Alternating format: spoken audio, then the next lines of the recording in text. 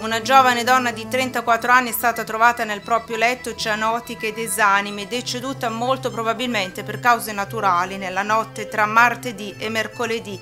Il dramma è avvenuto in via dei Martiri a Tellani a Sant'Irpino, provincia di Caserte. È stato il marito a trovare il corpo senza vita della donna e ha subito allertato i soccorsi che sono intervenuti tempestivamente, ma non hanno potuto far altro che constatarne il decesso.